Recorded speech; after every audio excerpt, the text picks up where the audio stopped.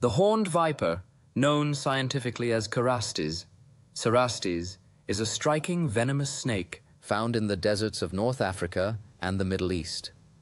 Recognizable by the unique pair of horns above its eyes, this snake employs a remarkable side-winding movement to travel across the shifting sands.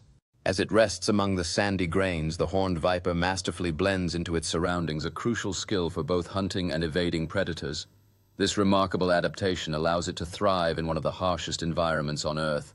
With a swift and precise strike, the horned viper reveals its lethal nature, using its venom to subdue prey that wanders too close. In the stark desert heat, these vipers often gather their stunning patterns, blending perfectly with the sun-soaked sand.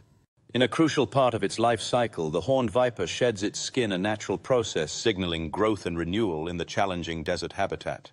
With keen, watchful eyes, the viper remains ever alert, prepared to hunt or defend itself against any approaching threat.